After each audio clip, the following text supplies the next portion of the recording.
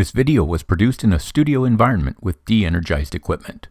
Follow the cable or component manufacturer's instructions and your standard operating procedures when using Speed Systems tools.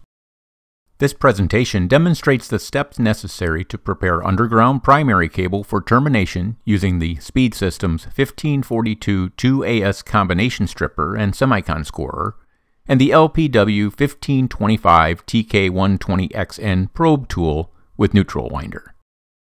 The 1542 series strippers are designed for cables from 1 2 inch to 1 and 3 quarter inches in diameter over the semicon shield. This roughly translates to 1000 MCM and smaller when stripping 5 kV cable, 750 MCM and smaller 15 kV cable, 350 MCM and smaller 25 kV cable, and 3 aught and smaller 35 kV cable. Refer to the Speed Systems Mark series tools for larger cables. Measure and mark the strip back length of the outer jacket. Follow the instructions provided by the component supplier to determine the proper strip back length.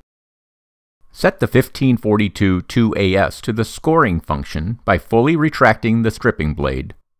Slide the lock to the scoring position and extend the scoring blade. Be careful to set the blade depth to avoid hitting any of the neutral wires.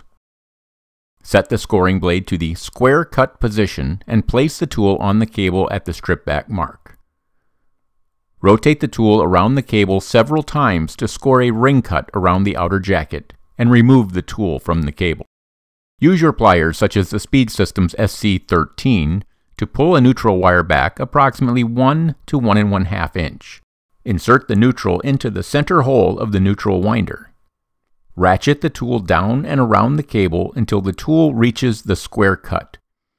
This method protects the neutral wire and prevents breakage by maintaining an even pressure on the neutral as it is pulled through the outer jacket.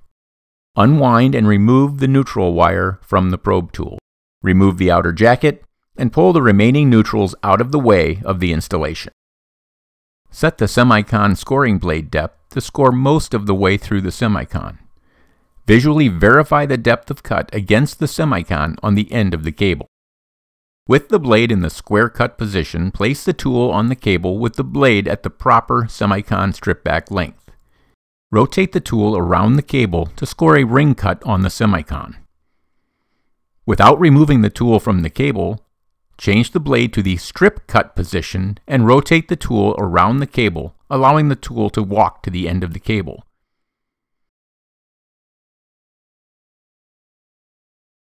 Fully retract the semicon scoring blade. Move the lock to the stripping position and extend the stripping blade. Set the blade depth so the blade misses the conductor by approximately 1 16th of an inch. Rotate the tool backwards around the cable before cutting the insulation to ensure that the blade will not hit the conductor at any point. Adjust the blade depth if necessary and recheck. Set the blade cutting angle to the width of spiral you desire. Approximately one quarter inch is ideal.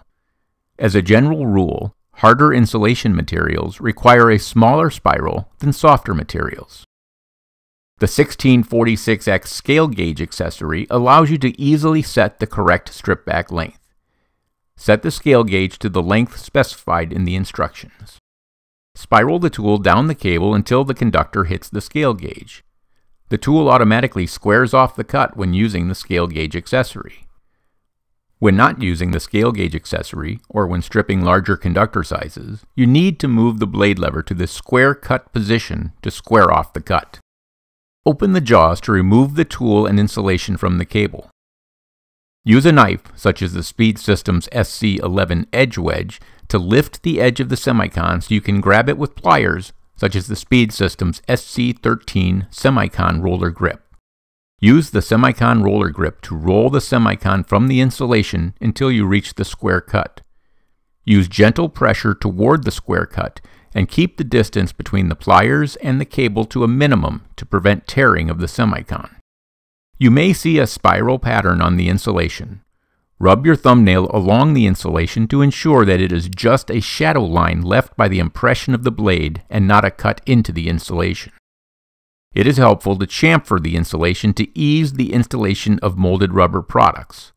See the Speed Systems chamfering tool video for a demonstration. This concludes the steps for preparing underground primary cable for termination using the 1542 2AS combination stripper. Speed Systems, providing quality American-made tools since 1970.